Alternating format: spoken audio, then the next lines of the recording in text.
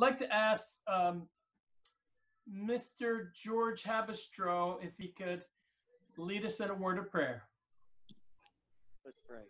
Heavenly Father, I just thank you again for this, this time you've given us, Lord, to gather as your people, Lord, and study your word, Lord. I just thank you for Pastor John and uh, his teaching of your word, Lord. Uh, just uh, let your Holy Spirit come upon him, Lord, and, and help us to uh, focus on what it is that you would have us to learn tonight, Just thank you for all you do. Name. Amen. We're going to begin by summarize some of the points. Um, these were more um, discussion kind of questions or, or, or thought kind of questions. Uh, so I'm going to share my screen with the homework um, from last night. Second Corinthians 12, 1 through 7. Paul describes an excursion, excursion to the third heaven. Discuss what is meant by the third heaven. Everybody got that. Uh, we, we spent a lot of time in first, second, and third heaven. Second, most Bible teachers believe that the man who was caught up in the third heaven was Paul himself. Most of us got the fact that even though Paul refers to this person in third person, uh, as the text, as the passage goes on, we realize he's just being very humble and not referring to himself, but uh, he transitions to first person. It's uh, I was the one that got the thorn in the flesh, and uh, so starting about verse five of that passage, it becomes obvious that he's writing about something that happened to him. Um, there's a suggestion that it was when he was stoned and left for dead. Um, he described uh, the location as paradise. Um, and we said that the purpose of the thorn in the flesh was um, was to keep him humble. Uh, after imagine what it was like to be in the third heaven. As a matter of fact, the entire time he's making sure to not elevate himself uh, because of this revelation. Um, part two describes paradise. So we said a walled garden or a beautiful garden. Uh, so it describes this beautiful um, uh, bucolic uh, scene in heaven. Um, Paul in Second Corinthians and John in Revelation 5 describe going to this present heaven. This suggests that it's a place. However, more is written about who we would be with in heaven rather than its location. So many people had great answers uh, uh, for why this is the focus of Scripture. But one thing that was that I especially liked was um, one of the answers was, you know, if you spend your whole life living for Jesus and longing to be with Him, then heaven itself will be being with Him. If you really want nothing to do with the Lord, if it's really more important what the scenery is or what uh, what I'll be wearing, what will look like, all those other kind of superficial things, uh, then um, that really isn't going to be the focus of heaven. It's going to be being with our Lord and Savior, the one who saved us, right? Um, and it's interesting that people that reject the Lord and Savior and really have no interest in being with Him, they um, they actually spend eternity without Him. Um, and then we had the inhabitants of heaven, all the humans that have um, have trusted in Christ. Um, those who have died before our time are already there. Uh, and um, so that was part three. And then if we have fingers and to dip into water um, uh, uh, and we'll be face to face with Christ, what does that suggest about our natures in heaven? That we'll actually have bodies. Um, the ancient Greeks taught about separating our soul from our bodies, but uh, the um, description of those that are already in glory is that they actually have bodies. Uh, so while we have a hard time understanding fully what that means, um, the scripture is clear that we will have um, some kind of bodies at, in when we're in heaven. Uh, so you guys did a great job on the homework. Um, what I want to do is uh, introduce the um, the lesson for tonight, um, and um, I'm gonna how does God describe the collective or collective destiny uh, for all who believe? Um, what are myths that are dispelled about heaven in the Word of God? How is a, heaven a place of no mores? Will eternity be boring? Uh, is heaven fully comprehensible today? What is Christ's place in the eternal state? wanted to begin with a quote from Randy Alcorn, who's written several books on the top subject and given lots of seminars. Um, this is a quote from Randy. No doubt our God is creative. Just look at the world around us. There are over 4,600 recognized species of mammals alone, not to mention the countless numbers of other animals, plants, and insects that span the globe. There are majestic mountains, soaring waterfalls, gorgeous desert sunsets, and oceans teeming with vibrant life. Some people might even refer to to play a few places on earth as paradise. But no matter how beautiful this world is, it remains just a shadow of what is to come. Many of us wonder what the new heaven and a new earth will be like. Will there be mountains, lakes, and deserts? Will there be animals? Will we eat and drink? These are great questions that uh, Randy Alcorn suggests. Let's begin with um, a couple of discussion questions. I'm going to open it up to you guys. Describe how God's creation may have been before sin entered the world, before the fall. What about people? What about animals? What about vegetation? What do you guys think? What was um, what was the earth like before the fall? Peaceful. Peaceful? What about people? Oh, excuse me. There was people. So too. Adam and Eve. Is that Marie? Yes. Hi. Hold the mic just a little bit closer so I can hear you a little better. And there was plants and trees, and we know there was a snake. Yep. What do you think about the people? What were they like before the fall? Sinless. Sinless. What does it mean to be sinless? They had no sin nature. They had no sin nature, so they always did what the Lord wanted them to do. Um, they never wandered away from God's will until the fall. Uh, they were just um, they weren't selfish. They looked to glorify God all the time. Uh, they really had no sin nature. No, they didn't want to steal from anybody else. They didn't want to hurt anybody else. Um, they, they were perfect in every way. What about the animals before the fall? They were friendly. They didn't want to hurt anybody. They were friendly. So could you imagine a tiger that has no desire to eat others uh, and uh, just maybe is a vegetarian? I don't know. Uh, um, but uh, I don't know how the food cycle uh, worked before the fall. Uh, but um, I'm quite sure that um, mosquitoes were quite different in the garden, and um, perhaps wasps and hornets were quite different. How about vegetation? Harry has a response about the animals too. Okay, go ahead. I was saying that they, they were uh, they were friendly to each other. You know what I mean? Like they weren't killing each other. Yeah, you you wonder how the food cycle worked and all that, but God, you know, God had it all worked out, right? Um, what about It's like the vegetation? lion and the lamb, right? The lion and the lamb. What about vegetation? Yeah, in the closet. First bathroom.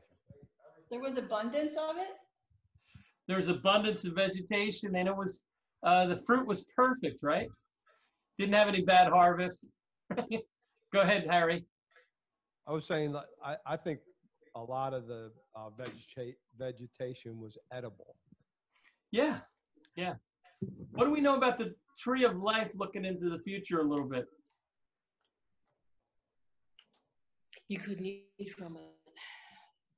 You could eat from the tree of life, right? And it has, how often does it have fruit? Is it every month?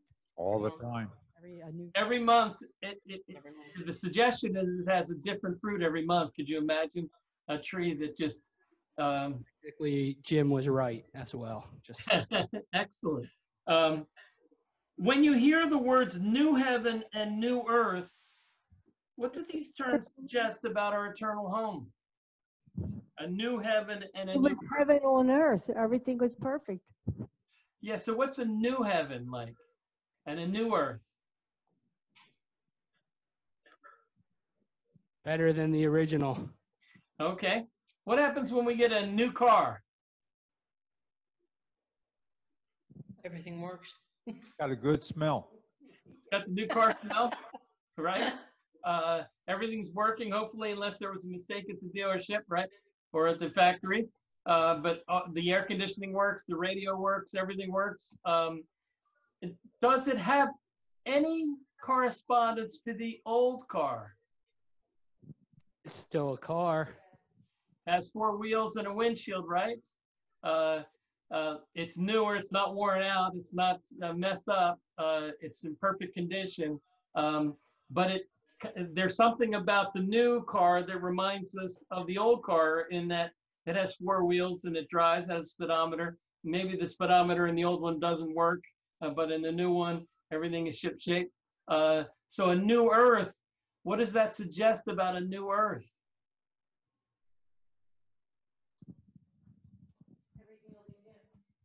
it, not only that it'll be new, everything will be new, but not only that, what what will be it's good not only that it's new, not only that it's perfect, Not gonna wear out. not good it's not only that it's not going to wear out, It's not going to be tainted by sin. And, not, even more than just tainted by sin. and it's going to be in perfect unity with God. All those things it's going to be true, but one other thing is true. It's going to be like our old earth, just perfect and new.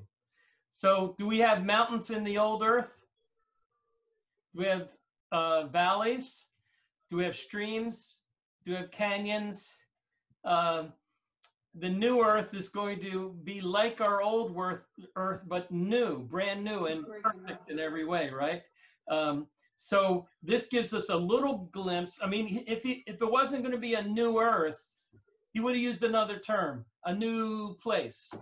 Okay, if it was going to be one big cube, um, and that was all that was going to be there, um, then he would say the new cube. Okay, but he actually, of all the words, he picks a new earth, a new heaven, and a new earth. Um, and so this earth is going to be like the old one, but brand new.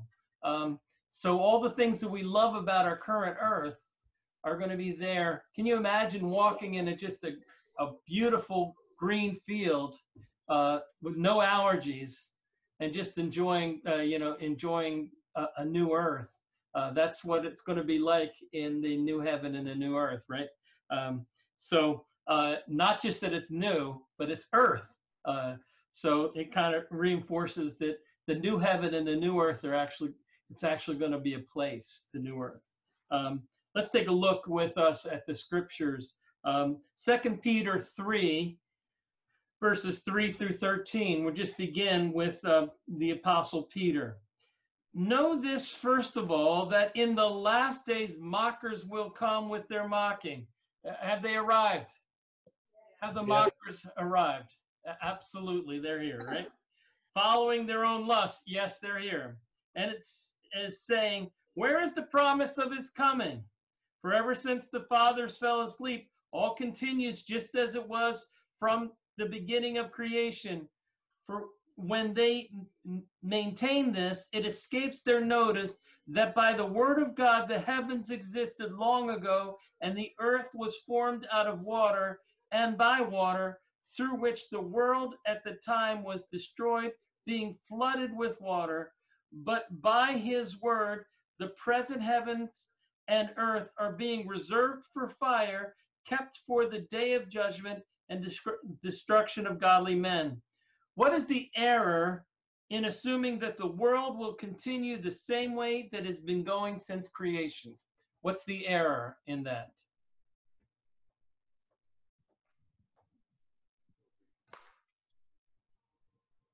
It'll be cleansed. Yeah, The error was sin. Amen. So, God's creation was perfect. right, and what we do, what uh, the natural scientists do is he applies science to the world and he looks at all the things that have happened while they were alive, maybe when the scientists before them were alive. As long as we've been taking data, they make they take all that data and they make their predictions about the future. who would have predicted how 2020 was going to go? nobody could have. Nobody could predict what 2020 was going to be like, right? Um, I don't think anybody did. Uh, the closest person was pre- perhaps our president when he saw what a mess was coming over from uh, from China. Uh, but um, nobody could have predicted what our our, our year was going to be like this year. Um, that's the the flaw that man has is that he keeps that he thinks everything just goes along just so so and that's the way it's always been and that's the way it's always going to be that's the flaw and what peter pulls out as perfect uh, uh, explanation of this is that once the world was destroyed by what once the world was destroyed by what Water. They're all, they're all saying water, just so you know. Good. Uh, they, uh, um, once the world was destroyed by water. So if you're going to use natural processes and go back, at some point, all your scientific models fail unless you bring in the flood. Let me give you an example of that. Um, I'm going to show it to you. You don't have to read all the details, but I'm going to show you a website.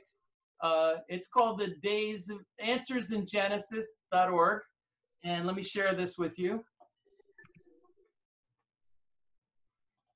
One of the things that, one of the places that Carol and I went that was absolutely beautiful was near the Grand Canyon. And there's six pieces of evidence about the Grand Canyon that nobody can explain except for those that believe in a flood. Evidence number one, fossils of sea creatures are found high above sea level due to the ocean waters having flooded over the continent. So the scientists have no description of how fossils of deep sea creatures are found in embedded in the rock in the um, in the grand in the hills around the Grand Canyon. Um, evidence number two: the rapid burial of plants and animals. There's extensive fossil graveyards that preserve uh, fossils, and they have uh, billions of fossils that were contained in layers of rock de deposited very quickly. They had evidence number three, rapidly deposited sediment layers spread across vast areas. There are sands that are normally found along the beach in New Jersey and other places and other sea uh, coast areas are found in a strata of dirt that is just below the surface of the Grand Canyon. Uh, they're the, called the Coconino um, sandstones, and there's no description of how those sands got to uh, Arizona and uh, the Grand Canyon. Uh, they have sediment transported long distances uh, and no description of how they got there. Um, there's no erosion uh, between strata which would indicate there's supposed to be billions and billions of years between the strata, but there's no erosions. There actually are trees that have been planted that the tree is actually um, uh, covers three or four different strata of rock, and there's no explanation of how a tree could be buried in five, four, three or four strata of rock. And evidence number six is many strata laid down in rapid succession. Uh, and uh, sometimes uh, rock doesn't bend, as we know, but rock actually is formed in right angle uh, at times, um, and it's right in the Grand Canyon area. Uh, so, as a matter of fact, the only explanations of the Grand Canyon involve um, the flood. Uh, there's no adequate explanation of how this this these two plates got riveted apart to form the Grand Canyon. If you believe that the Colorado River went through all these strata of rock and left the Grand Canyon, uh, I have some swampland that I could sell you. I actually do have some swampland in Florida that I could sell you. okay, uh, so, uh, but um, natural man makes the mistake of saying everything the way it's gone the last 50, 100, 200 years, as long as we've been taking measurements, um, that's how it's going to go forever. That's where man makes his mistake because he doesn't realize that God does things quickly, catastrophically, like the flood that totally changed the face of the earth like that. And one day he will do that with the, the earth. Uh, it's not, uh, by the way, can we be absolutely sure uh, that the world is not going to be going to be destroyed by flood? Yes. Okay, we have God's word on that, right? Yes. Yes. Every time we see the rainbow, we are uh, remembering the promise that God said He'll never destroy the world again by a flood. So every time I hear a global warming person talking about, oh, there's going to be floods and it's going to cover all the cities, I remember the promise of the rainbow, right? Um, so let's continue. Verse 8. But do not let this one fact escape your notice, beloved, that with the Lord, one day is like a thousand years, and a thousand years like one day. The Lord is not slow about his promise, as some count slowness, but is patient toward you, not wishing that any to perish, for all to come to repentance. We I hear people quote this verse all the time. In this context, what is what is Peter saying about time? The Lord knows no time. He has no time. Yeah, a thou- when he says a thousand, uh, a day is like a thousand years, and a thousand years is like a day, he's saying, we look at a thousand years and we think, wow, what a long time. God looks at it and says, you know, uh, he just he just came two days ago. Okay, uh, and this isn't a mathematical equation; it's an idiom. It's an idiom to describe that for God, God invented time. He doesn't need clocks. Um, he is outside of time. Uh, so when he makes a promise, he's going to fulfill it. And it doesn't matter if it takes 10 years, 100 years, 1,000 years, 10,000 years, whatever he makes a promise, he is going to fulfill it. Can you say amen to that? Amen. And so the fact that he hasn't come just yet doesn't mean anything because when God says he's going to do something, he's going to do it. So that's really what what um, what um, Peter is saying. What seems like God's slow, slowness is actually revealing what qualities about his character. What is he revealing about his character in his perceived slowness? Mercy. Amen. Mercy. Uh, uh, Sharon, you were going to say something? Mercy. Uh, slow to anger. Grace. Slow to anger, his patience, his long suffering. Aren't you glad that God is long suffering with us? Um, the first time I sinned, it should have been lightning bolt, and I'm taken out to uh, to destruction, judged and taken out to destruction. But He was long suffering with me, and He still is long. He's long suffering with America. Can you say amen to that? I Amen. mean, I might have judged America by now. Uh, he's been very patient with our country. He's been long suffering. So just the fact that he doesn't work in our time frame doesn't mean he's not going to fulfill all his promises. He's absolutely going to fulfill every single promise. But let's take a but God has the advantage of the long view. He keeps all of his promises, but he does so on whose timetable? Your timetable? Nope. My timetable?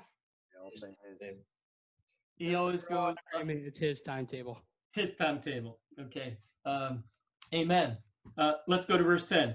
But the day of the Lord will come like a thief, in which the heavens will pass away with a roar, and the elements will be destroyed with intense heat, and the earth and its works will be burned up. So, will the earth be destroyed by a flood? No. They're all saying no. It's going to be destroyed by fire. Since all these They'll things are to be destroyed this way, in this way, what sort of people ought you to be in holy conduct and godliness, looking for and hastening the coming of the day of God, because of which um, the heavens will be destroyed by burning, and the elements will melt with intense heat. God's word makes a bold prediction. The heavens will pass away one day, be destroyed by burning. The earth will be destroyed with intense heat. The earth will be destroyed by fire. There will be great destruction. Of, uh, and why would you? Why would God destroy this beautiful world that we live in? Have a better one. Yep, Evil. He's going to make it even better. Because of evil. It's it's all tainted by sin, right? So he's just gonna. It's sort of like um, um, what is that uh, company got junk? okay, you're gonna make it disappear. Okay, all the stuff's gonna go away, and then he's gonna have a new heaven and a new earth uh, made for us. But according to his promise, we are looking for new heavens and a new earth in which righteousness dwells. This new earth will be perfect in every way, but the thing that makes it a brand new characteristic is that righteousness will dwell in it completely. There'll be nothing but righteousness there. That's why he's purifying the world. People wonder, how could God send somebody who rejected him to the lake of fire? It's because he's never adopted God's righteousness, and heaven is reserved. The new heaven and the new earth are reserved for those that have his righteousness. How do we get that righteousness? By faith. We God gives it to us as a gift, right? There's nothing that we there's nothing we can do to earn it. God gives it to those who trust in him, right? Um, why would God destroy the heavens and the earth? Peter simply states that God is going to make new heaven, uh, a new heavens and a new earth. It is interesting that Second Peter is written by Peter in 66 AD, one year before his execution in Rome. John writes the book of Revelation on the Isle of Patmos a quarter a century about a and a, about a thousand mi- later and about a thousand miles away, essentially at the opposite end of the Roman Empire. Yet they describe the same incredible event, the creation of a new heaven and a new earth. Let's turn to Revelation 22. Um, Here we go. Now, it's important for us to get a little context. The millennium is described um, uh, following judgments, uh, and, is followed by judgments in Revelation 20. God then makes a bold assertion that uh, of a new heaven and a new earth. God describes the sight of the new heaven and the new earth. For the first earth passed away, and there is no was no longer any sea. While the descriptions of the new heaven and the new earth are not given, the focus becomes the holy city, New Jerusalem. Let's read from um, from the text here. Um, then I saw a new heaven and a new earth. This is Revelation 22. For the first heaven and the first earth passed away, and there is no longer any sea. The old earth and the old heaven pass away, new replacements emerge. So what I'm the point I'm trying to make is Peter and John are as far apart as you could be. Just a hand, uh, Peter gets executed a year later, and years later, on the other end of the Roman Empire, God inspires John to describe the same exact event. Amazing. Um, and we talked about what the new heaven and the new earth um, suggest. A new heaven and a new earth suggests at least two things. The new earth and new heaven will have a freshness of being new. Anything old and worn will be replaced. The, the terms new earth and new heaven suggest a correspondence, we've been talking about that, with the old earth and the old heaven. These will be new, but they will have some similarities with the old. Otherwise, why would God name it a new earth and a new heaven? If I told you I was buying a new car and I, I- and I was trading in an old car, again, we would see similarities between the old and the new. The new earth will be purged of all the effects of sin. Um, there'll be no longer any sea. The environment and the hydrology will be completely different. No longer any need for evaporation, condensation, precipitation, transpiration, percolation, evaporation. The rain cycle will be completely different. Um, not sure, but uh, I think that one of the reasons for the rain cycle is to wash out all the impurities of the air. We won't need that in the new heaven and the new earth. It's going to be perfect environment. It's not going to have to be washed every day because it's there's not going to be any toxins in the air and and um, and needs uh, for washing everything every day. It'll be perfect in every way. But let's look Amen. Amen. Let's go to verse 2. And I saw the holy city, New Jerusalem, coming down out of he- heaven from God. So this is a new city. Um, it's part of this new earth. It's called the New Jerusalem, coming down from the heaven from God, made ready for the bride, adorned for her husband. And I heard a loud voice from the throne saying, Behold, the tabernacle of God is among men, and he will dwell among them, and they shall be his people, and God himself will be among them. What does the name Jerusalem mean? They all said, well, half of them said city of peace. City of Peace, Jerusalem. There is a new capital of the new earth. Guess what the new capital is going to be? Jerusalem. Jerusalem. The New Jerusalem. Sounds John, What does it mean? City of Peace, I believe. City of Peace. city of peace. Uh, John will call this city New Jerusalem, City of Peace, Jerusalem. Um, again, this New Jerusalem will have some things in common with the old one. Gone are the barbed wires. Gone are the AR-15s or 17s or whatever they are. Uh, gone are the uh, uh, roadside bombs. Uh, it, this, it's going to have a name, New Jerusalem, but it's going to be way different than the current Jerusalem. But this will be new and different in many ways. We have noticed most often cited characteristic about heaven is that we will be with the Lord. What does the word tabernacle mean? Dwelling place. Well, well, with. It's the dwell, dwelling place, right? Uh, and uh, a taber- to tabernacle with somebody is to dwell with them. So Jesus is going to literally tabernacle with us. Um, he was man was estranged from God after the fall, and God's plan of redemption is to reunite man with his Creator. And everyone that has accepted Christ and trusted in Him, he's been reunited with his Creator. And the new heaven and the new earth removes all the barriers and physically christ is going to be there with his saints hallelujah um, the tabernacle is a house god will dwell among mankind so it's not so much in jerusalem that we go to god in the new heaven and the ear- new earth it's actually the opposite the new jerusalem comes down it comes to us so that new city where we'll all dwell is going to come down to earth um, instead of us going to heaven so uh, right now in the present heaven, we go to where God is. Um, in the New Jerusalem, he's going to make a new earth and he's going to actually bring the city, uh, the capital city, down. Uh, God will dwell among mankind. There will be a tremendous bond, his people among us. And verse 4, notice this verse is after all the judgments are complete. Um, and judgments, you'd have to stay around for um, Doctrine of Heaven 2 to get to the judgments and the resurrections but uh, that's part of doctrine of heaven too. And he will wipe away every tear from their eyes, and there will no longer be any death, and no longer be any mourning, nor crying, or nor pain. The first things have passed away.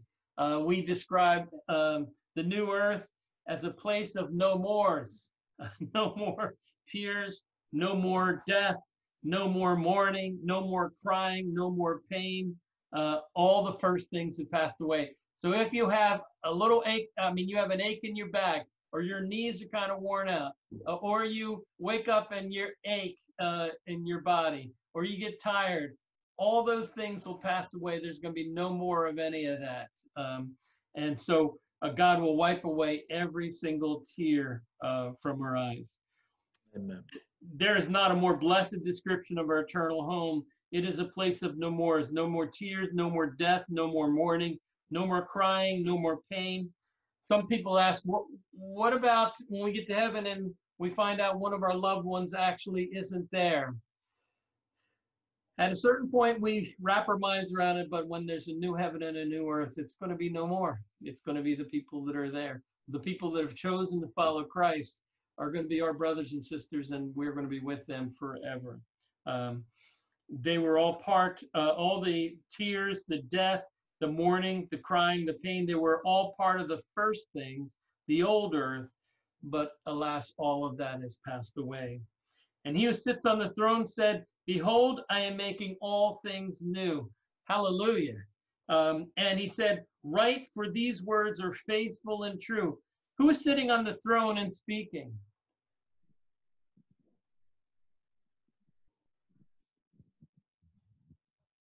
God. God is. Um, what do you think the word all means in this sig- in this statement? Everything. Everything's going to be brand new. There's not going to be anything that's not brand new. Could you imagine uh, as as fit as um, uh, strong as DG Farmer is? Can you imagine when DG Farmer is brand new in every way? Uh, it's going to be awesome. It's going to be absolutely awesome. Or Liz, or any of the rest of us. Uh, that will be brand new. Um, there's all he's going to make all things new. Everything we look at, everything we touch will be brand new, and it'll stay that way. You know that you can park a car in like the um, uh, the desert, and it'll unless it get co- gets covered with sand, it'll be like that 50 years from now. Um, Jim McCartney has a question. that's a little bit of like what heaven's going to be like. Jim. Jim McCartney wants to know if we're all going to be beautiful. I said we will, but I mean, there's not much we can do for him. uh, yes, even Jim will be brand new. That's very good, and all of us. Praise the Lord. God don't make mistakes. Amen. Why do you suppose Jesus told John to pen the words, write these, write for these words are faithful and true? Why do you think he adds that editorial comment right now?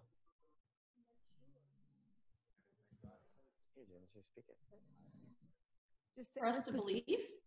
Yeah, it's it, first of all, it is true, but it's hard to believe, isn't it? It's faithful. hard to believe. God, Every God is going to do it. what's that? You know, it's everything he's written is faithful and true, and I think those are two very key words that, especially with what we're going through in today, and we're seeing everything so sporadic around us, right? But God is saying, "I'm faithful and true." These things are faithful and true. So what God says He's going to do, guess what? He's going to do it. If it hasn't been done yet, it doesn't mean He's not going to do it. So it's faithful and true. He's going to do it.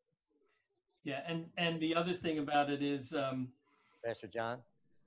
oh, oh, let me just say one thing and then be right there. Um, every scripture is inspired by God. It's all inspired by God and inerrant. So this is just as inspired as John 3:16. I'm trusting in John 3:16 for my salvation to go to heaven, and just as inspired, just as inerrant is the word that God's going to make a brand new heaven and a brand new earth. And even though it exceeds my imagination, how he's going to do that and how wonderful it's going to be, and it gets just blows my mind to think about it. He puts in here, write this because it's faithful and true. It's just as true as every other scripture in the Bible. Um, DG, Uh, Joan had a comment, okay? and then I have one afterwards. Okay. Okay. Did she? Did she? I don't think he heard you. Oh, she forgets what it was. I was going to say that uh, that when the Lord returns, in the second coming, on his thigh is written "faithful and true." So, Amen. a reference to that as well. Amen. The Lord is faithful and true. And Joan, guess what? When we get to heaven, we're gonna have perfect, starting in eternity, we're gonna have perfect memories from then on out. We're never gonna forget anything. It's gonna be awesome. Um, so we see the delight of God that to make all things new. And just when the reader is wondering, could all this be true? Then he says, These words are faithful and true. Verse 6 Then he said to me, It is done. I am the Alpha and the Omega, the beginning and the end. I will give to the one who has thirst from the springs of water of life without cost. And he who overcomes will inherit th- these things, and I will be his God, and he will be my son. But for the cowardly and unbelieving and abominable and murderers and immoral persons and sorcerers and idolaters and all liars, their part will be in the lake that burns with fire and brimstone, which is the second death. What does the title the Alpha and the Omega suggest to you? And they all said beginning and the end. What does that mean? He has no beginning and he has no end. He is all. everything in the end. Alpha means he's the alpha is like you're the lead dog, like you're the leader, The original the- alpha male. the king of the pack. Starts with him and it ends with him. He's the, he's the first and the last, and there's no one else. There's first and the last, no one else. Uh, before there any there were before anything was, he was there. And when creation began, he created all things. When all things are made new, he is the one that's going to do it. He is the beginning and the end, the first and the last. He started everything and he's going to be there when it's all done. The only difference is before he started creation, who was there? Before he started creation, who was there? Himself. Spirit and the Son. The Father, the Son, and the Holy Spirit were there before creation. Then he creates everything and it runs its course. At the end of all time, who's going to be there? Father, Son, and Holy Spirit, but who else is going to be there? We are. All of us. Us. Uh, so um, awesome, awesome principle. Uh, he is the Alpha and the Omega. Um, he's the first and the last. He will be there to remake the. wor- He made the first world, and he will be there to remake the world and heaven. He will purge those who rejected his salvation, and the new heaven and the new earth will be reserved for those who remain. Verse nine. Then when the one of then one of the seven angels who had the seven bowls full of the last plagues came and spoke with me, saying, Come here, I will show you the bride, the wife of the Lamb. And he carried me away in the spirit to a great and high mountain, and showed me the holy city Jerusalem coming down out of heaven of God, having the glory of God. Her brilliance was like very a very costly stone, and a stone of clear jasper. It had great and a, a great and high wall with 12 gates and the gates the um, and at the gates 12 angels and the names were written on them which are the names of the 12 tribes of the sons of israel and there were three gates on the east three gates in the north three gates in the south three gates on the west and the wall of the city had 12 foundation stones and on them were the 12 names of the 12 apostles of the Lamb. In the eternal state, do we go to heaven or does heaven come down to us? Heaven comes down to us. The newer Jerusalem comes down. In eternity, we don't go up to heaven. Heaven comes down.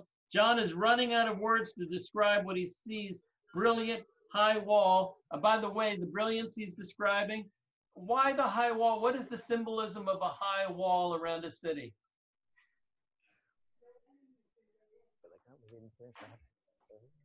Joan says no enemies can get in. Yeah, it's security. It's going to be a safe place, right? The city is going to be a safe place.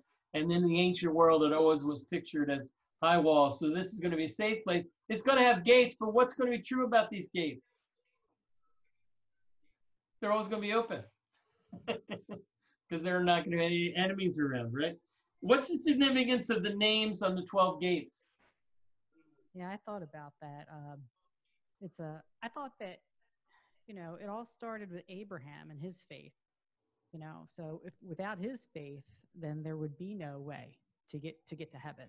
So I thought that the twelve gates were, were you know, representative of the the twelve tribes, and that all stemmed from Abraham. Awesome, awesome. Um, they do stand for is- all of Israel, and they represent all those who believed in Christ before the cross, right? That's the 12, um, the 12 tribes, right? Uh, and there were some before the nation of Israel, but all those before the cross are represented. And then, of course, the 12 apostles stand for all those that have accepted Christ after the cross, right? Uh, so, in a sense, these names, the 12 and the 12, uh, share that this is a complete kingdom of all the believers from all time. Uh, yeah, Do you think Paul's name is going to be amongst the 12 apostles? absolutely. I believe that. Yep. Yep. Not Mattathias is going to step aside, and Paul's going to be the 12th apostle. Okay. The one born out of season that replaces Judas Iscariot. I used to say it was going to be Jerry Falwell. It's gonna be. And Jerry. Wh- When I was a freshman at Liberty, I remember like my Ah. friends saying, "Hey, do you think the 12th name's gonna be Jerry Falwell?" that's that's Well, freshman year. it's Judas. Little li- Liberty humor, humor, right? We- we- We've come a long way. All right, verse 15. Right, but I thought, right, but I thought it didn't have. What's that, uh, Carol? I'm saying, Paul. I'm sorry, I thought, I was saying, I thought it would be, um, Paul replaced Judas. Paul replaced Judas, but they had an election when God, and look, this is not Right. Part of the course, but God told them to go to uh, Jerusalem and wait. And what did they have when they got to Jerusalem? Right. They had a business meeting. They they, they called the 12th apostle uh, instead of waiting for God to send his 12th apostle. So um, anyway, we that'll be another debate for another time. Ver, um, verse 15. The one who spoke with me had a gold measuring rod to measure the city and its gates and its walls. The city is laid out as a square, and its length is as great as its width. And um, he measured the city with a rod 1,500 miles in length and width and height, which are equal. So even though the world's not going to be a cube, the city of Jerusalem's going to be a cube. It's going to be literally a cube, 1,500 miles. That's the distance from here to Denver. Okay, just to give you a little idea. Here to Colorado is 1,500 miles. Uh, it's going to be that wide, then it's going to be that long, it's going to be that high, um, and there are, all the dimensions of the city are going to be equal. Uh, so that's a cube, a divine cube, right? That's that's Jerusalem, correct? That's the New Jerusalem. Will there be enough believers, enough room for believers in all ages? New Jerusalem will be a cube.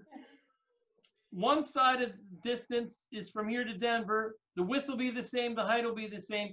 If each of us had a space that was one mile long, one mile wide, one mile high, so that's George's Carol gets one mile by one mile by one mile. That's your space.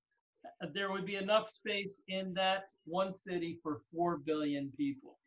Uh, wow, that's big. If each person um, uh, space is a half mile by a half mile by a half mile, there is enough space for 32 billion people, more than the population the earth for, for all recorded history. Uh, so there is going to be plenty of space in the New Jerusalem for all believers to come and go. Uh, there'll be a whole world, but that will be headquarters. And he measured, verse 17, a wall 72 yards uh, according to human measurements. By the way, why is he measuring this city? So so real quick, I have a question for you, Pastor John. Sure. So uh, if each person gets a, a mile by a mile by a mile, we're gonna have miles up in the air where we're not really on the ground, huh? Yeah, and we might be able to transport. Jeffersons, right? Not the. What was that? What was that? Yeah. No, not the Jetsons. Like the. Oh, we will. We ne- won't need jetpacks uh, either. Um, That's awesome. but uh, yeah, I- I mean, God knows all the answers to all these questions. But yeah, um, it's going to be uh, uh, absolutely incredible, and n- nobody's gonna have fear of heights. Um, but but I, I asked the question why why is he measuring this? J- I- Jim Carney said, just think about jumping into the pool from uh, up there. uh, George Habistro, why would God measure this holy city, New Jerusalem?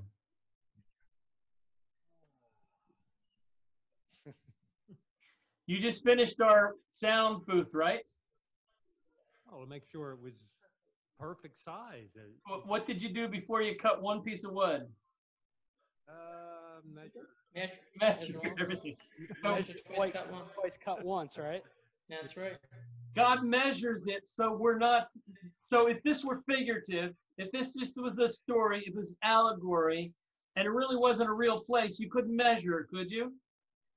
But he actually measures it, which tells us this is going to be a real city. It's not a fantastic um, story. This is going to be a real city. You can measure it. You can touch it. It has the length. It has width. It has height. All the things that are physical have length and width and height. So it will be with the New Jerusalem. Every time he measures something in Scripture, it's because it's a real entity. Go ahead, Joan. Excuse me, the way I've always read it was that it's not going to be huge enough for all the people that have been saved throughout the ages. Not true.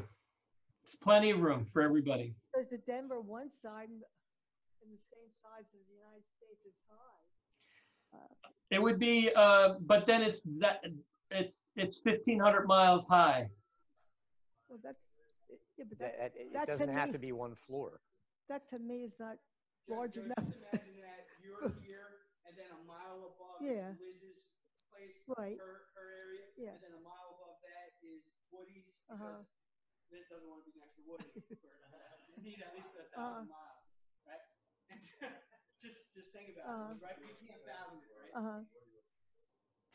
Yeah, so Well- if, if this was like a high rise, this is on the first floor, Woody's on like the, he's on the next Okay, well, I guess I haven't been reading it right, but I never, But I never. we all, You can't. we all discussed that this, Things on, not everybody's going to be packed in the city all at one time.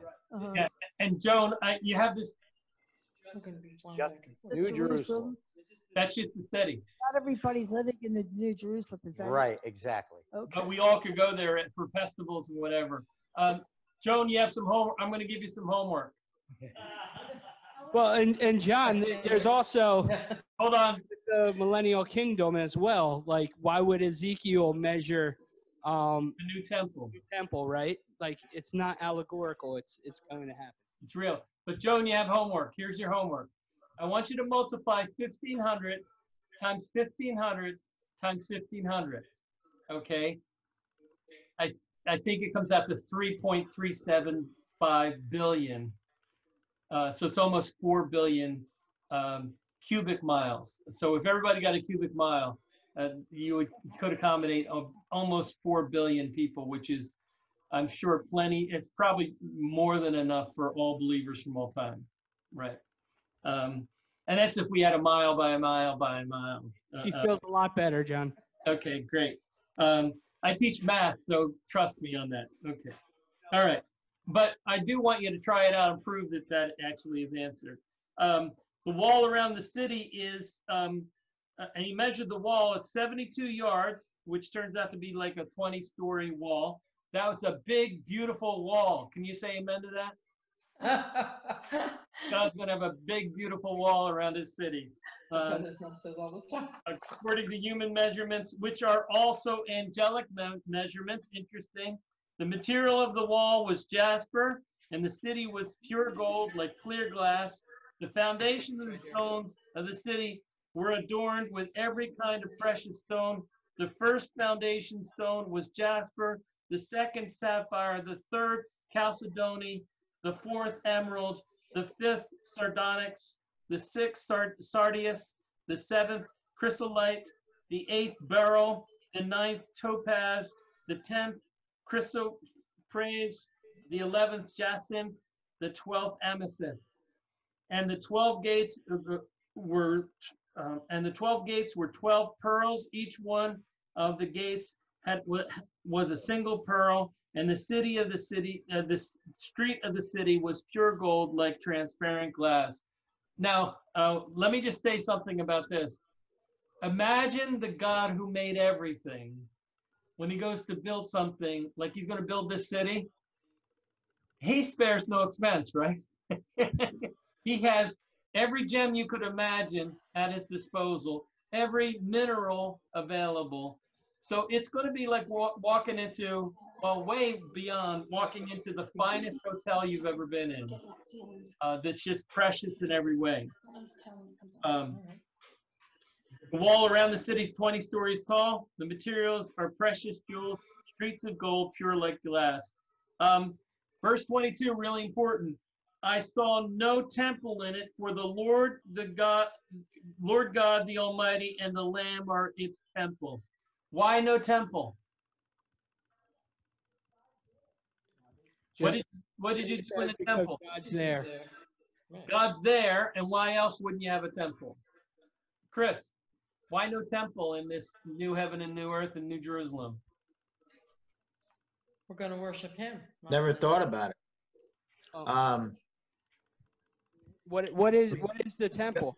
yeah, I mean, God dwells in the temple, so he doesn't need to dwell. He's there. So the temple, real, the temple is really the new heaven and new earth. When I see no new temple, no temple, no need for any more sacrifices. There's Mm, no sin. Sin has been dealt with. True. It's, it's long gone. There's no more lambs getting slaughtered on the on the uh, altar. There's no um, holy of holies with a mercy seat. All that has all that has been part of the old world. It's all gone. It's been paid uh, by Christ and it's completely gone. God's made everything new. There's no need for sacrifices. There's no need for a temple. God is with the people. He has already secured all our salvation, and there's no sin. We will be without sin natures. There's no more sin. There's no more penalty for sin. It's all been dealt with, right? Uh, we're on the other side of all the judgments, which is uh, it's almost beyond our imagination what it would be like to be on the other side of all the judgments. All that is past. No need for a temple anymore. We're home. We're home forever. We never have to worry. We don't, no guilt, no shame, no worries about past failures. All of that is gone. This is the place of no mores, right? Uh, praise the Lord for it. Pastor John, I wanted to add something real quick. Sure. You remember that the tabernacle and the temple were always representations of the true, right? So the mercy seat and, you know, the uh, altar of incense, they were always representations. They were always shadows. So just understand, you know, also just to add to that. So now when when New Jerusalem comes down and God tabernacles amongst us, we no longer need the shadows, you know, which was the tabernacle originally and then then the temple. Absolutely. No need for the shadows because uh, faith has been replaced with sight and hope has been realized. We're in the new Jerusalem, the new, the new uh, heaven, the new earth.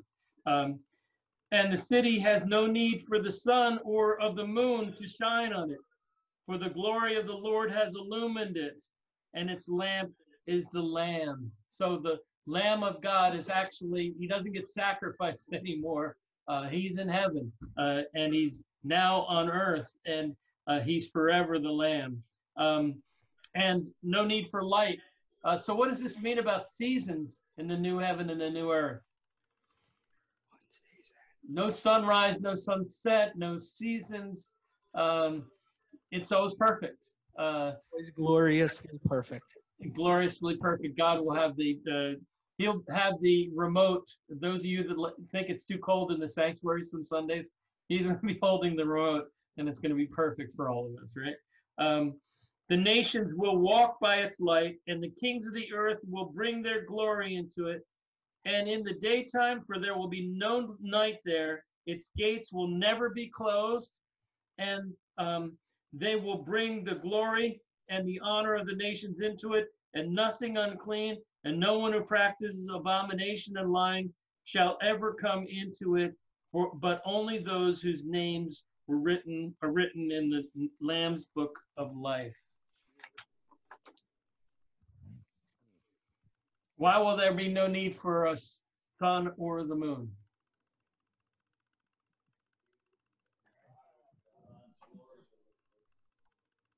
Say it louder, guys. Jesus is our light source. They They're said saying the they, glory are of saying the God. glory of God shine. Let the glory of the Lord.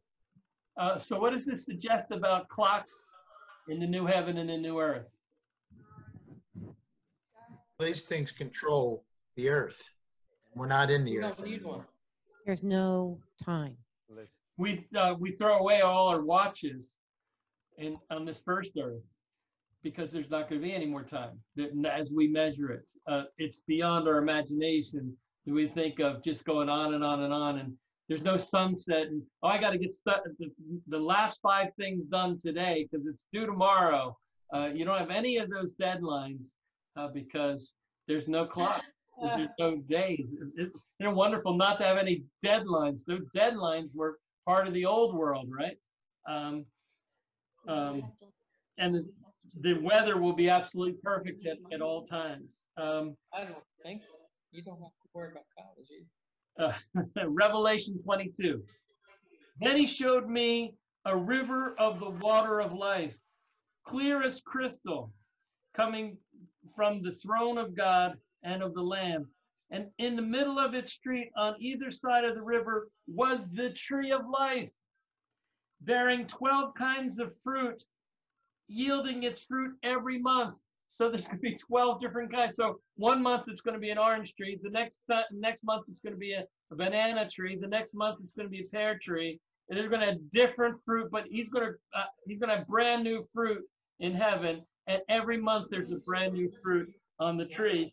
And the leaves of the tree were for the healing of the nations. Um, there were no longer any curse, and the throne of God and the Lamb will be in it, and his bondservants will serve him. They will see his face. They will actually see his face, and his name will be on their foreheads. Jesus' name is going to be right here on my new forehead. Uh, and there will be no longer any night. There will have no need for light for the lamp uh, of a lamp, nor light of the sun, because the Lord will illumine them. They will reign forever and ever. How long does that last? Forever and ever. That's awesome, without end. Um, what does the, this water suggest about our thirst in eternity? Jim said it'll be quenched. Yeah, we're not going to be thirsty anymore. Um, what were the symbols of God connected with the tree of life? Adam and Eve were not allowed to eat from the tree of life. Why not? They'll live forever. They would live forever, but everybody. In a condemned state. What's that?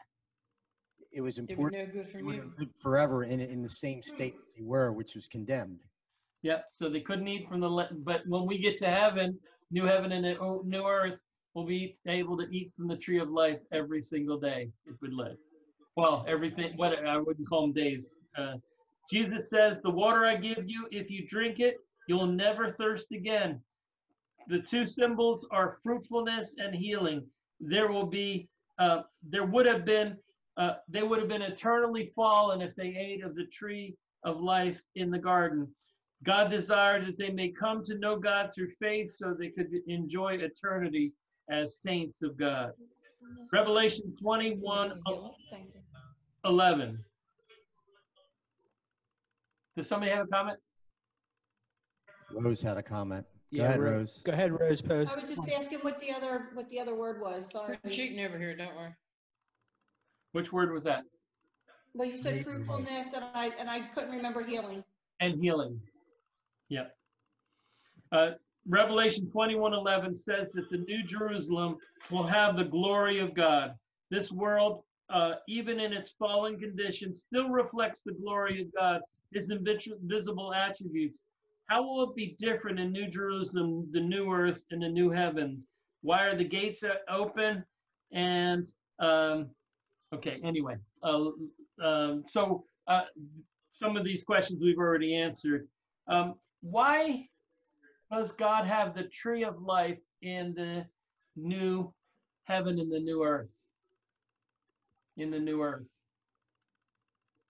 Why do you think he places this tree in the new earth? Can eat from it. You can eat from it, absolutely. Healing of the nation. Healing of the nations. We have Genesis and Revelation. So in, in Genesis, you were not permitted, you know, but in Revelation, we're Right. permitted. Right. But you connect, you wrap the whole scripture together from Genesis to Revelation, From the, the tree of life. It, it reminds us of the Garden of Eden, what, what the garden was like before man fell. Um, so the new world will be like the paradise that Adam and Eve lived in. The only problem is there's no possibility of a fall. There's no possibility of separation from God. There's no possibility for sin. But all the wonderful things you could imagine about the first garden are going to be true of that new earth. And so to remind us of that, God puts a tree of life in both places so we can connect Revelation with Genesis. A lo- a lot, a lot of uh, teachers teach that too, John. That um, the new heaven is a, an Edenic environment, you know. But what you said, it's without a potential of fall. right? Exactly. Garden of Eden had the potential to fall, and we did fall, right? In the new heaven, there is n- there's not even a potential like that. That's one of the biggest things. There's not even a potential to sin. Yeah, it won't even occur to us anymore. We will have a, we won't have a sin nature. We- We'll have um, just the desire to please God. the entire time. you my, my mind wanders all the time. So. Let's look at Isaiah real quickly before we go. Isaiah 65, 17 through 18, one of the passages we started our study off um, four weeks ago. Um, For behold, I create new heavens and a new earth. By the way, notice all of those are plural and then a singular new earth. We won't get into that right now, but every time it's referred to as new heavens and a new earth. Um, and the former things will not be remembered or come to mind. So this is how many years before Peter wrote, how many years before John wrote? 700. 700 years. It's over 700 years. When you add in the apostolic period and so forth and so on, it's over 700 years, maybe closer to 800 years before. And they say the same exact thing. Praise the Lord. That's the inspiration of Scripture. Um, and the former things will not be remembered or come to mind. You won't even stop and think what the old world was like. Imagine you're living in, in such a world that it's so nice, so perfect, that your old life never occurs to you. that's got to be incredible. It's like God does a mind wipe, uh, and all of that's gone, and it's just glory, glory to God. Um, Doesn't that answer the question earlier though uh, about what, what what if when we get to heaven and we notice that our loved ones are not there? Like, I, I actually believe that we're not even going to think about that. Yep. We're not going to think about that. We're, you know, when, when you're in the presence of God, the only thing you're going to think about is the God that you're in the presence of. Amen. Amen. But be glad and rejoice forever in what I create. For behold, I create Jerusalem for rejoicing and her people for gladness.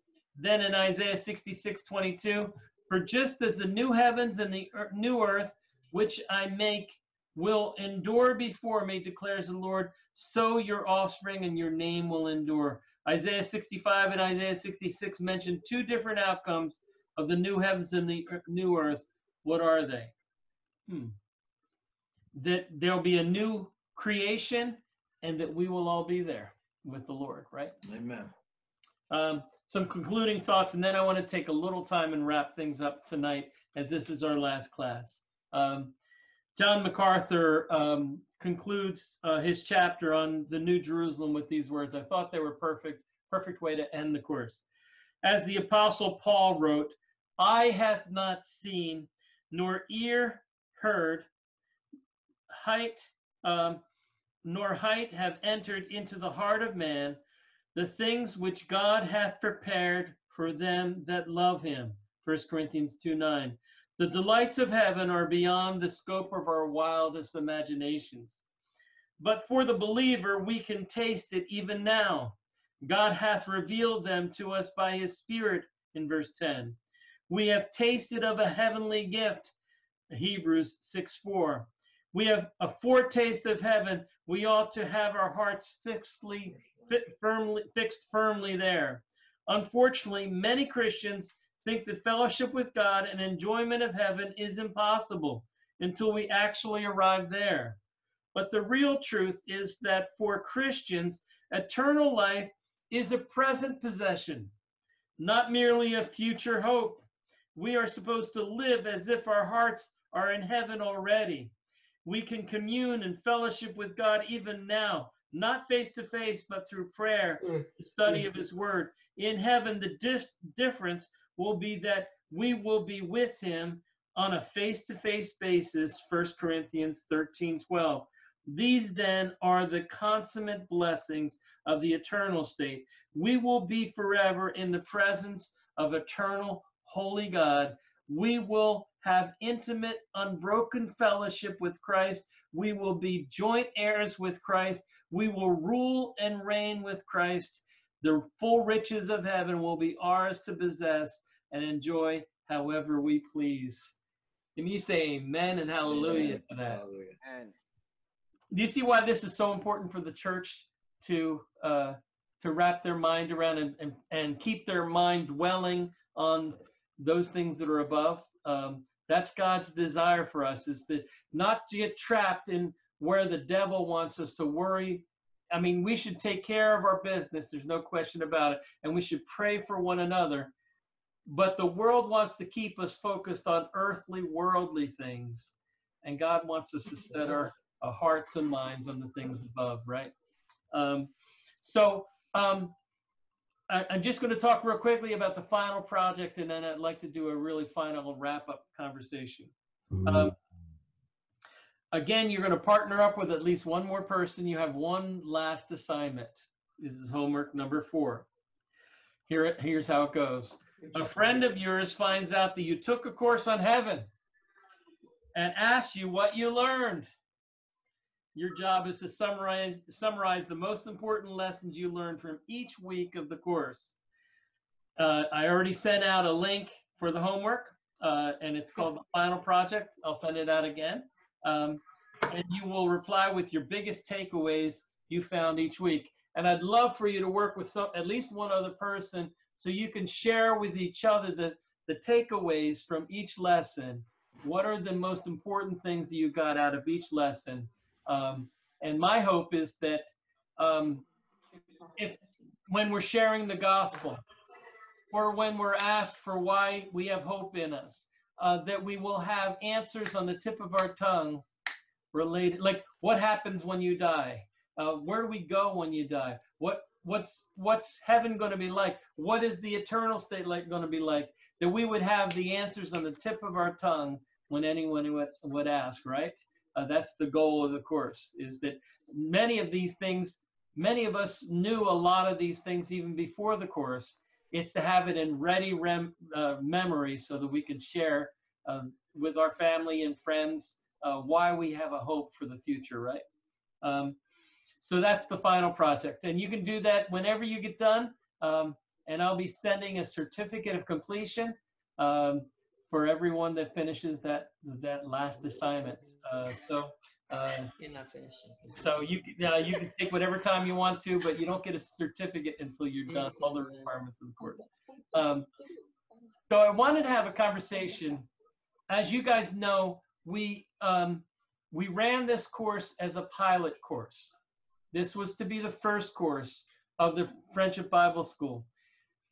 I'm I would I'd be curious in this group setting if some people have suggestions of what what would you uh, like us to do differently in the next course? Or or some of the features that we definitely should keep when we have uh, a new course? I think pastor chaz is working on a course. I think maybe some, pastor chris and some of the others are working on some courses uh, for the fall and that's the other question is how many of these things do you think make sense to have in the fall and then the winter and then the spring? Uh, so let me start with the first one. What what are some things that you would change or re- any recommendations that you would make to us to make the courses better?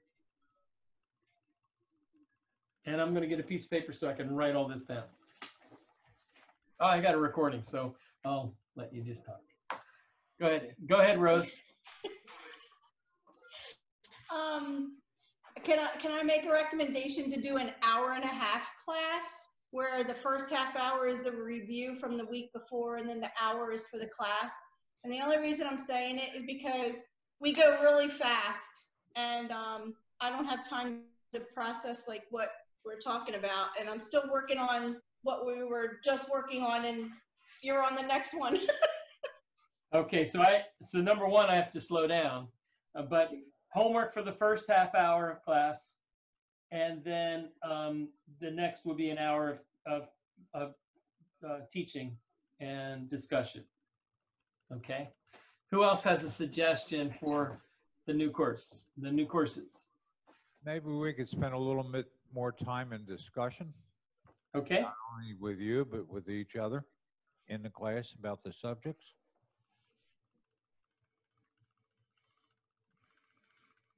That's a great idea.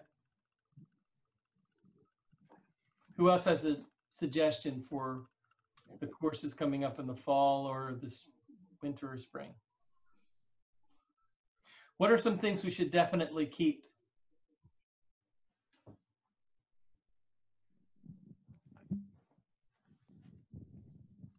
As much as this pains me to say it, um,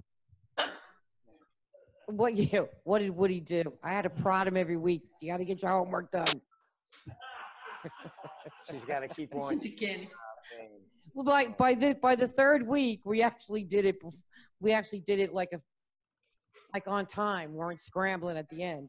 Um, but I, I, you know, I think that um, doing the homework was actually very helpful um, because it really you, you had to do the homework. You had to really find, you know, you really had to discuss it, um, look up scripture, and it wasn't, you know, oh well, you know, like you had a you had a deadline, and I think that kind of accountability is works for me.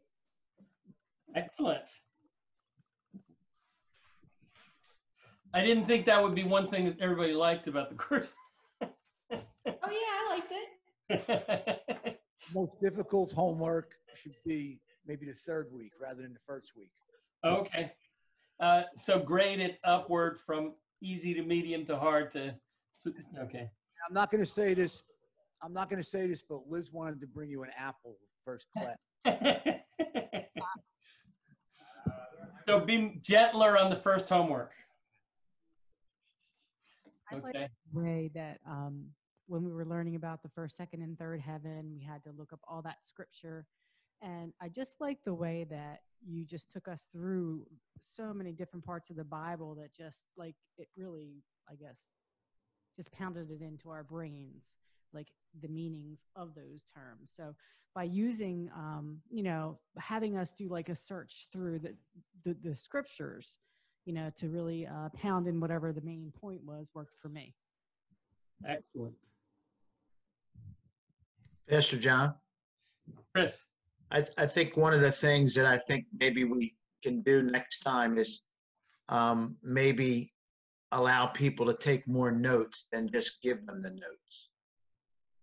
Um, you learn a lot more. You know, when you go to college, you know, your prof really doesn't hand out all the notes. And I understand why you did that this time. And you've been a prof for 40 years, so I can't teach you anything. But, you know, it might be a little bit of both. Um, maybe give them a, a notebook, everybody a notebook, and kind of keep your notes in there. And that way you kind of can share with each other what you missed and, you know, that kind of thing. And I think writing, you learn more, you know, when you're, when you're listening. So it's easy, it's easy to zone off a little bit in this setting, especially online. So I think if we're taking notes, we're a little bit more with it. Just a suggestion. It could be the same format, Pastor John, just, you know, because you get the, the binders out, just leave some of it more blank. Yeah, it's true. Absolutely. Like that. Right. Good. Um, last question is, uh, what do you think? What do you think? Joan we- had Joan has- something real Joan has quick. Something. Good. I think it was great. You should keep on going and don't stop. You, you Amen. think it's too short? Well, I just believe in Bible study and I believe in taking notes and doing whatever we have to do, homework or whatever. I just think it's a great thing to keep going. Amen. I love it. I love your reaction the first week. You're kidding me, right? You you're real. You're for real, right? So I have a uh, I have a question that goes along. Um, would you guys be able to handle doing two courses at the same time, or do you like just having one course at a time? One. One. They're all saying one course at a Yeah, time. brain can only take one. Well, there could, there, Chaz, there could be two courses at a time, but just different people take the two courses. You know, so it doesn't mean everybody in this group has to take two courses. Does that John, make sense? No, you can't do that. I don't want to have to choose. I don't want to have to choose. I want to take them all. Well, I'm not saying we're going to do it that way. I just said that's a, that's a possibility. Kenny, yeah, I, um, I think if the class is longer, me, myself, I would tend like, okay, I could miss a class. Being short, four weeks, it made me get here every week because it's only four weeks. If I can't do four weeks, and you know, then there's an issue. But if it's like a six to seven week course, I'm definitely going to miss a class. Just throw it out there. there's an honest man. You go, Ken. Um, so, um, Attendance is mandatory, but we're recording it in case you miss. So don't worry about it. uh, uh, Chaz pointed out that uh, that contradiction that I was saying. Attendance is mandatory, but we're recording in case you miss it. uh, so anyway, um, so what I'd like you to do um, is over the next um, week or so, if you could do the summaries while it's fresh in your mind, I would recommend doing it in the next week or so. Just try to look through your notes and sort of summarize. Doesn't have to be a novel. Just what were some of the, and it could be bullet points. What are the big things you- learned each night, uh, each week? And then also, um, I'd love to hear suggestions from you of what courses you would really be interested in taking. Like rather than me throw out some suggestions, I'd rather you tell me, oh, this would be a cool course. I'd really love to see a course on this. And, um, you know, one last question just for me. Um, uh, I don't know how to ask this. uh, Oh, it- when you, um, yeah, I'll do it this way. Instead of making you raise your hand now, I'm gonna ask it this way. When you get, send back that last assignment, tell me if you'd be interested in taking an, another course, you know? So in other words, some of you may say, this is one and done. I'm done with courses, homework, attendance. Uh, and some of you may, that may be your attitude. Tell me if you're interested in taking, it, because I'm kind of curious to see how it went over in terms of, oh, I'd really love to have another course, you know, take another course like this, or not so much. and that's either way is fine. You can't offend me, but I, I really want to get some data on, um, you know, how well it went, was received. John, Uh, I was very surprised. They were all like really excited and said that they really want to take a systematic theology course. So, Pastor, uh, Liz and I were talking the other night, and we just wanted to say that in, in the several different churches that we've been at, you know, in New York and New Jersey, so on and so forth, in the short time we're here, in less than a year, we've learned more in the Bible studies and in the courses that we've ever learned at any churches that we've attended. Because you go really in depth into the scripture, all the pastors, and and again, we just feel like we're home here with everybody here. So, thank you. Wow. Wonderful. We love you too. What a way to what what a way to finish the last night. Um, that's great, Woody. I appreciate that. It, it just uh, there's tingles all coming up and down my neck. You can't see them. uh, I do appreciate that. Uh, Excluded from all homework now, he says. I dropped an apple off a little later too. Uh, Chaz, uh, thank you for being such a help tonight. Uh, and Chris, Pastor Chris, thank you for being here each week and and throwing in um, your points. They make a they really make a lot. A, mu- they add a lot to the class.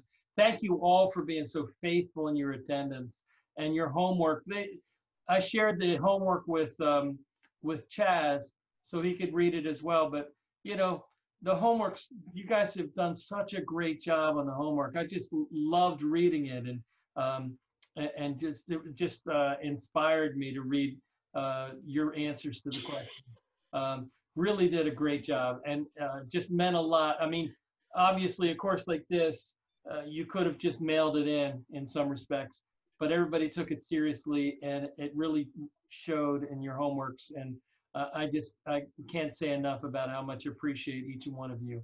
Um, I'd like to ask Chaz if he could, and and DG, thank you so much for being there and helping with the microphones. And you know, we are trying to keep everything. He's got he's wiping down the microphone between talks. Uh, he, you know, we're trying to keep socially distanced. We we gotta you know, this Corona thing going around. Um, thank you for all your help, brother, in doing that. Um, Chaz, can you close us in a word of prayer? sure. Let's pray, guys. Yeah. Father in heaven, we are so thankful that we have an opportunity to study your word as in, in depth. And Father, we're reminded by Hebrews 11 6, Father, you are a rewarder of those who diligently seek you. And so, Father, the, the reward that we have received is the the assurance of the hope that we have, Father. And uh, just just having a deeper understanding of our future forever home, Father, is so incredible. And, and we can't the, the Bible is so clear that we can't completely fathom it, but you are so good and gracious that you you give us inklings of what we can comprehend. And so, Father, even in in our minuscule comprehension, it is it is so incredible what what what you have in store for us. So, Father, we thank, you, first and foremost for um, bringing us and counting us as your children, Father, and that you have uh, ordained for us to be in eternity with you, Father. And so we look forward to that day. And uh, we, we join with the apostles that say, Come, Lord, come. Uh, Father, we thank you and we praise you. In Jesus' name we pray. Amen. Amen. Have a great night. Thank you. Thanks, brother.